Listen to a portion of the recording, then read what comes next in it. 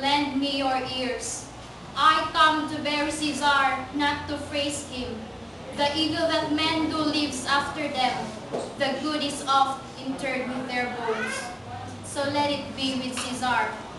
The noble Brutus have told you Caesar was ambitious. If it were so, it was a grievous fault. And grievously had Caesar answered it. Here, under leave of Brutus and the rest, for Brutus is an honorable man, so are they all, all honorable men. Come I to speak in Caesar's funeral. He was my friend, faithful and just to me. But Brutus says he was ambitious, and Brutus is an honorable man. He have brought many captives home to Rome, whose ransoms did the general coffers fill.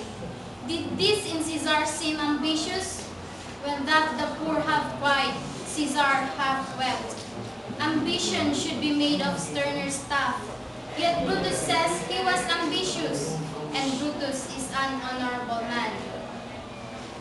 You all did see that on the Lupercal, I thrice presented him a kingly crown, which he did thrice refuse. Was this ambition? Yet Brutus says he was ambitious, and sure he is an honorable man. I speak not to disprove what Brutus spoke, but here I am to speak what I do know. You all did love him once, not without cause. What cause withholds you then to mourn for him?